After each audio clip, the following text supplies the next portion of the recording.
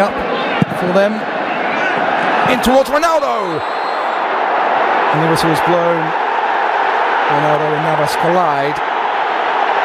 And I think magical moment for Cristiano Ronaldo.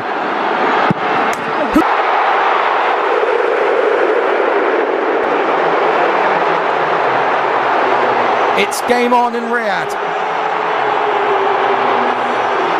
One. And on we go.